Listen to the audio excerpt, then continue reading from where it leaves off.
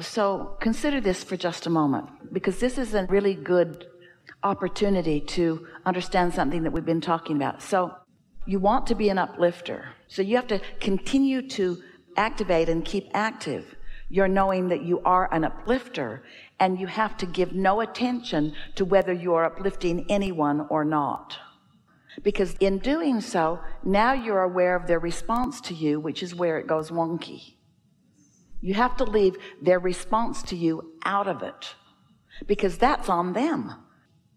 And only do it for your response to your own desire. Do you know? There are those who will not be uplifted. If you've got your eye on whether they're being uplifted or not then you lose your connection and then you feel bad. So this has to be a singular intent only. I do it. Why? Why do I do it? I want to feel good and I want to be in alignment so that I can uplift them eh. because now their response to you is part of the equation and that's where it always gets muddled so stop for just a moment imagine your inner being or imagine a cluster of inner beings, which you want to call source.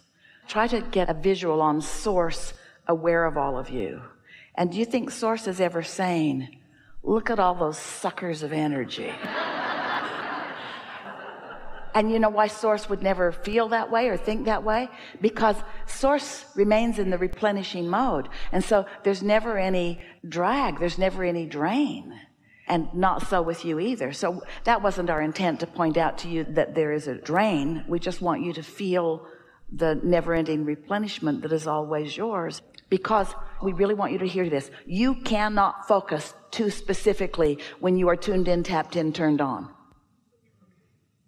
but you can focus too specifically when you're not. This is a really good conversation because the thing about that is so you're tuned in ideas start to come you're flowing with them and it's good until it isn't. So when it stops feeling good does that mean that the work that you did before is irrelevant or does it just mean leave it there for now? That's what we call don't try so hard don't try to make it happen don't try to push the noodle. Here's the thing if you've let it get to anxiety then there's nothing for you to do in the moment because everything you try to do to get rid of anxiety will cause more anxiety that's why we say, let's get out ahead of it. Don't fall in the hole and then try to climb out. Stay away from the hole. That's what we mean by getting out ahead of it. Be nicer to yourself. Give yourself more time. Do the things that soothe you most. Don't get depleted and then try to fix it. Do the things that encourage the opposite of depletion, which is renewal and replenishment. Find a time to meditate and do more basking and get off to yourself and let yourself daydream. Because if you're out ahead of it, more momentum can happen. But if you've caught yourself in resistance and you try to fix it, the momentum follows the resistance rather than the allowing. Does that make sense to you?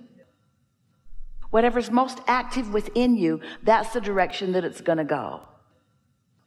A while back, and Esther demonstrated it for friends the other day we encouraged Esther to take a piece of paper and in one corner uh, write something that was representative of good things she wants and in the other corner of the paper we asked her to put a symbol that was evidence or an indicator of things unwanted and then we asked her to make herself a dot right in the middle of the bottom of the paper and then we asked her to just begin daydreaming and so she thought a thought that was in harmony with all the good things she wants. We just began drawing a little line from where she was in that direction. And as she thought more, then more. And as she thought more, then more. But eventually, and quicker than she would want to admit, but it was perfect and fine, she got somewhere where she thought a thought that started to go off this way. In other words, it was a action thought a what I need to do thought or an old belief thought. But because she had some momentum already going that way, in the moment that she started to go that way, she caught it and then thought a better thought about that. And off she went again. And then another thought sort of tried to take her over there, but she caught it and thought a better thought and off she went. Now, this is another way. In other words, you can, if you're in a good feeling place, and you are sensitive to the way you feel You can think the thoughts deliberately. You could meditate and get tuned in, which would lead you to blissful thoughts. And then you could receive an idea that just feels really good. And for a moment in time, you could be right there. But what trips you up is you don't want to just be there in energy or in emotion. You want the manifestation. And in the moment that you begin the efforting, that's when you begin moving in the other direction. If we could convince you that everything you want is because you want to feel good in the having of it, then if you could let the feeling good be the singular intention that you have, not uplifting the world, not fixing things that are broken, not making the world a better place, but just having a really good time being the bright light that you are. Yeah? We're not for a moment asking you to discard those thoughts. It's wonderful to get an idea about what you want to do. So we're not suggesting for a moment that when those thoughts come, that you shouldn't pursue those thoughts. Satisfaction comes from one place and one place only. Having an idea of what you want and moving in the direction of it. All we're asking you to be more aware of is when you are being a dream killer to your own dream. That's all. Don't be practical about your dreams. Because when you're practical about them, you try to put pieces in that you don't have yet. You are practical. You are humans. And it's the thing that Esther is most focused upon, not focusing upon these days. It's the thing that she's most focused upon, not focusing upon. She wants to jump into action too soon because the dream doesn't feel like it's enough, but it is. The dream is enough. And if you can dream it and it's enough and dream it and it's enough and dream it and it's enough and dream it, it's enough. It will demand things of you that you can't not give it, but they will be things that are in harmony with the dream. The impulse will be so strong that nothing could keep you from following that. And that's the difference between receiving the thought and trying to think it into place. Did you get that? So good what we're wanting Esther to understand means don't be so practical so soon. Every desire needs work on resistance. The problem is the work on resistance just makes the resistance more. So rather than work on resistance, what you're wanting to work on is more allowance, which is finding ways to feel better about the desire. So let's talk about something real. The other day, Esther was visiting with some friends and they went on a day journey, just a few hours up into the Rocky Mountains. So Esther set herself up in that she's prepaved in that she imagined a nice day and it was. And she imagined lots of fun and laughter with her friends and there was that. When that moment of ecstasy came,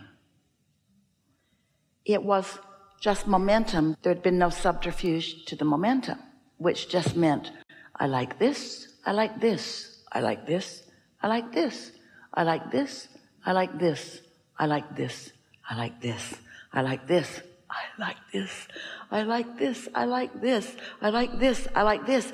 And soon there is a crescendo that just takes your breath away and you feel like the most blessed and the most loved. But most people don't do that. Most people say, I like this, not that so much.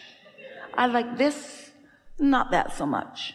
I like this, oh, I could do without that. And so the momentum doesn't build to that place of ringing your bells in that way. Does that make sense to you? Now that's just an example of a few hours in a car together. But your whole life is that way this is good, this isn't. This is good, this isn't. This is good, this isn't. The subject here is the subject of momentum. Esther translates into some of her old fashioned vocabulary that many of you may not even be able to relate to. It's like priming the pump. Priming the pump.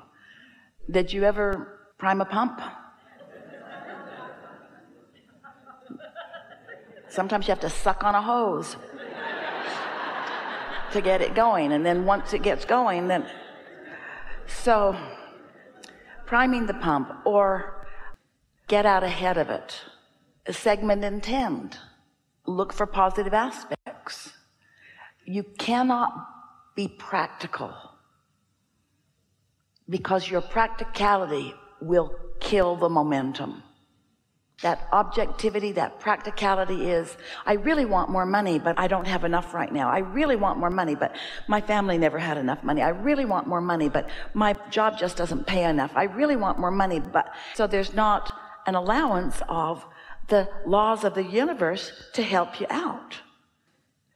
So it takes some decision and we like determination, but we want your determination to be focused upon the determination to find the best feeling thoughts.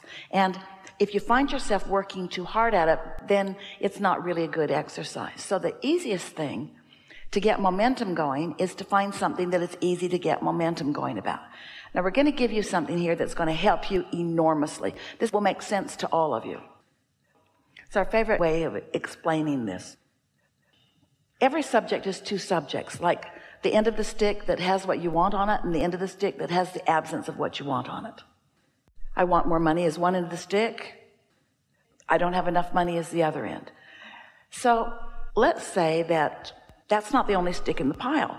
There's the money stick there's the relationship stick there's the way I earn my money stick there's the friendship stick there's the lover stick there's the where I live stick there's all this bundle of sticks.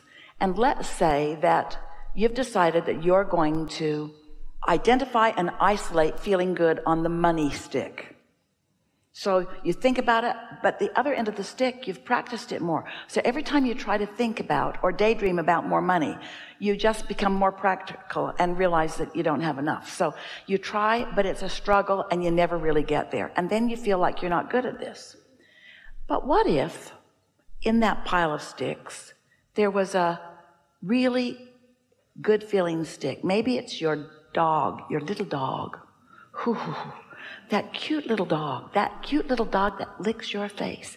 That cute little dog that you have never had anything but a blissful thought about. You just can't bring yourself to do anything but love that dog. Do you have one of those dogs? Do you know one of those dogs? So that little dog as you're thinking about that little dog you're thinking about that little dog and it's so easy to be on that end of the stick. And so think about the little dog you think about cute little dog. That dog that waits for you and loves you and uh, is so unconditional in that love and so really adorable. Think about the pictures of that dog. That dog that is so easy for you to love. So that's the stick that you're focused upon.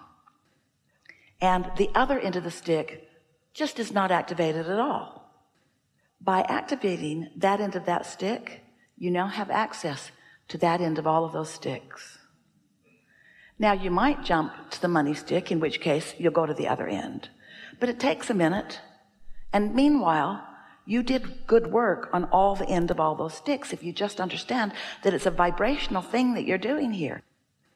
You're tuning yourself to this end of the stick which is to say you're tuning yourself to positive expectation which is to say you're tuning yourself to the way your inner being looks at all your sticks which means you're tuning yourself to pure positive energy which means you're tuning yourself to being in the receiving mode which means you're tuning yourself to being in the vortex which means you're tuning yourself to being a vibrational match to what's in your vortex. You see what we're getting at?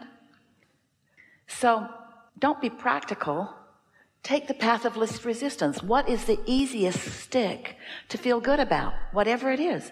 And before you know it you'll feel good about just about all the sticks and if you're like most humans you'll still focus upon the problem stick. You don't need to. So it works the other way too. Maybe you've got this pile of sticks and you're feeling pretty good about them. You like your house you like your mate you like your job you're doing really good. You just don't like that one neighbor.